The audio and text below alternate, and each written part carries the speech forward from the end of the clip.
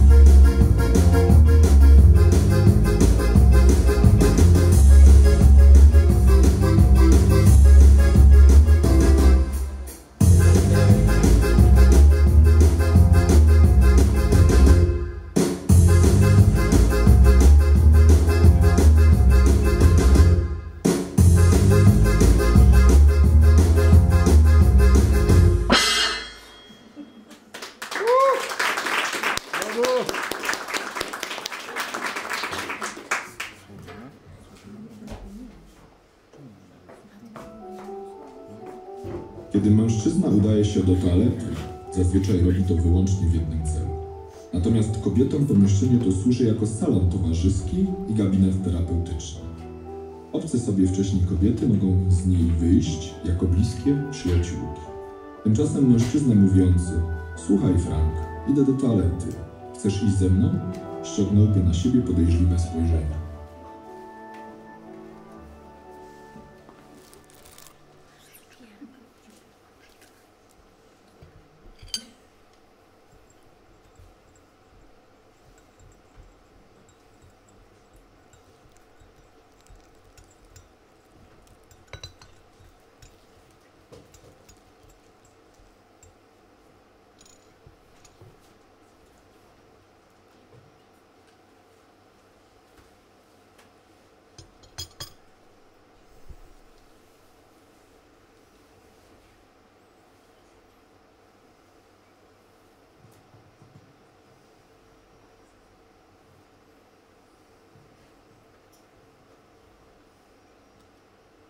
Ludzie! Obiecuję wam! Obiecuję wam obietnicę! Tak jest! A jeśli mnie wybierzecie, to obiecuję wam jeszcze więcej obietnic! Tak! Tak mi dopomóż 500 plus Najświętsza Panienka! I obiecuję, że żadnej, ale to żadnej z tych obietnic nie spełnić. Tak. Niech żyje prezes i prokuratura.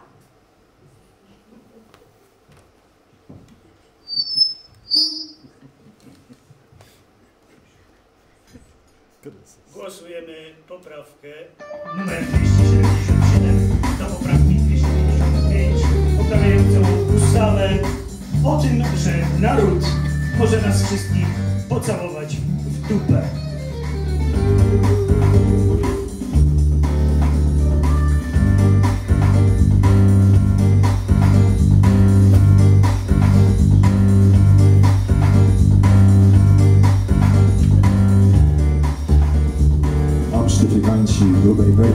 Katowickie węglokopy i borysławskie naftowierty i rozemęsze bycze chłopy, warszawskie głupki, żygolaki z szajką wytwornych gwint na kupę, rębały fajty, zabijaki. Izraelcy, doktorowie, wiednia żydowskiej, męki flance, co po Knistyju i w Krakowie szerzycie kulturalną Francę, którzy wiecie, znaje fraje, swą intelektualną zupę, mądrale oczytane faje. I ten aryjskie rzeczoznawcę wypierdy germańskiego ducha, gdy swoją krew i waszą sprawdzę. Wierzcie mi, jedna będzie jucha, karne pytaki i szturmowcy, zuchy z Makabi czy z OWP, i rekordziści, i sportowcy.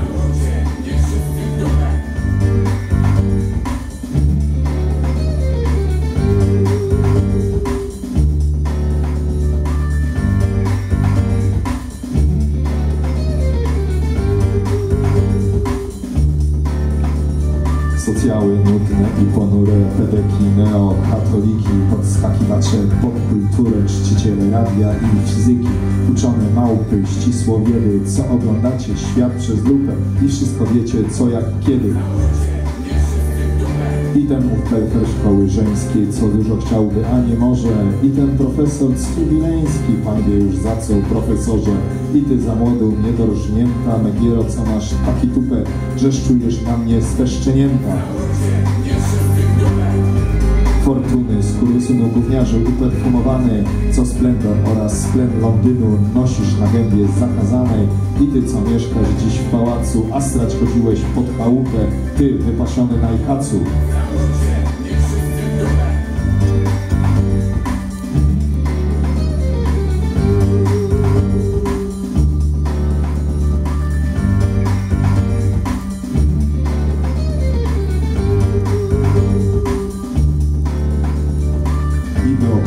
Zapomniałem lub pominąłem was przez litość, albo dlatego, że się bałem, albo że taka was obfitość. I ty, cenzorze, co za wiersz ten zapewne skażesz mnie na ciupę, kurzem się stał świętuchów hersztem.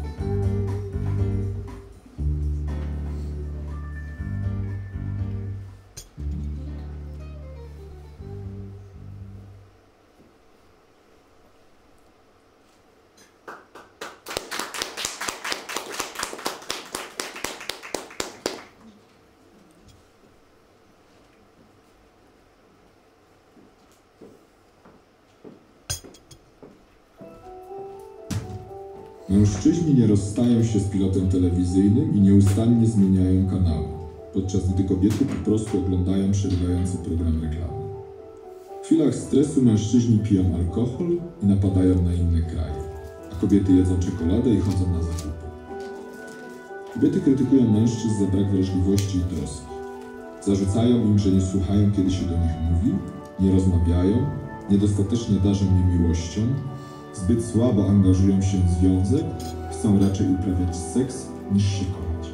Zostawiają podniesioną deskę sedesową.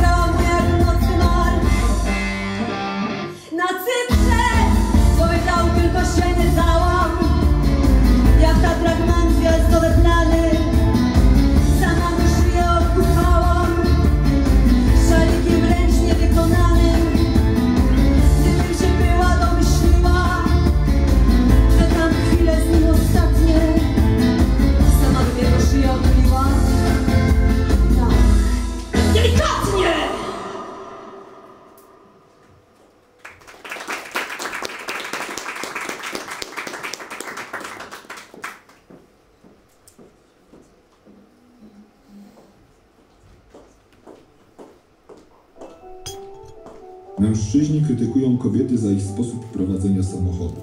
Obracanie map do góry nogami, brak poczucia kierunku, ciągłe mówienie, zbyt rzadkie inicjowanie seksu i zostawienie opuszczonej deski sedesowej. Mężczyźni nie potrafią znaleźć własnych skarpetek, ale płyty kompaktowe mają ułożone w porządku alfabetycznym. Kobiety zawsze potrafią odnaleźć zaginione kluczyki do samochodu, ale rzadko najkrótszą drogę do miejsca przeznaczenia. Mężczyźni sądzą, że są rozsądniejszą płcią. Kobiety wiedzą, że to one nią są.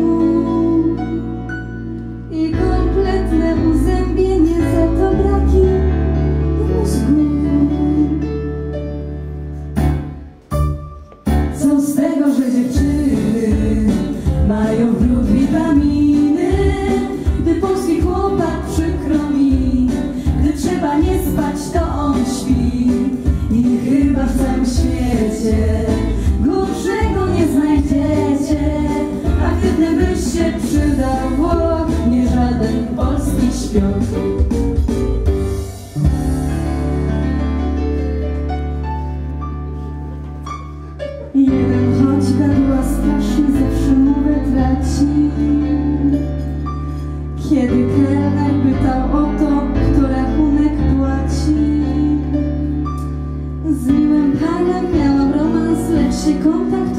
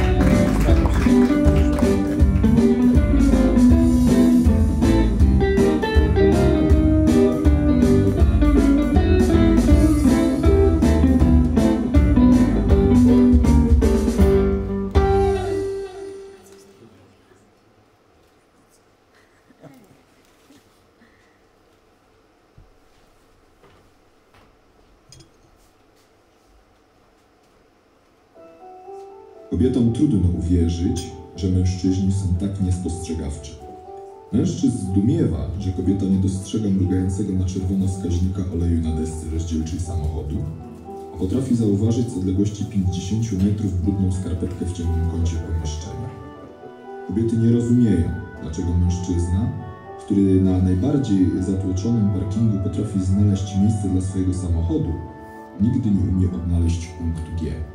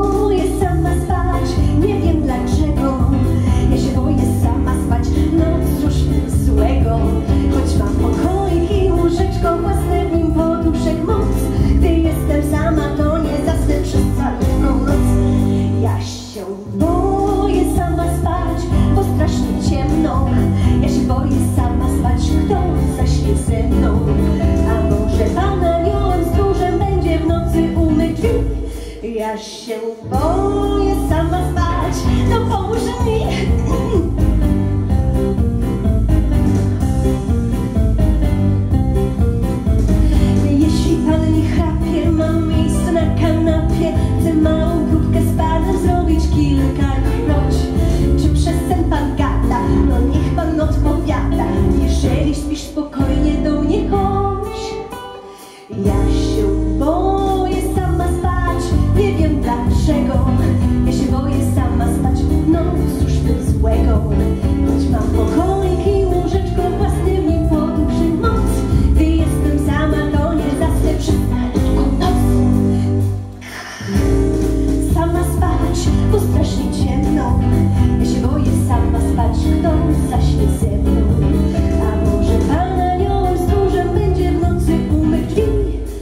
Się boję sama spać. No pomóż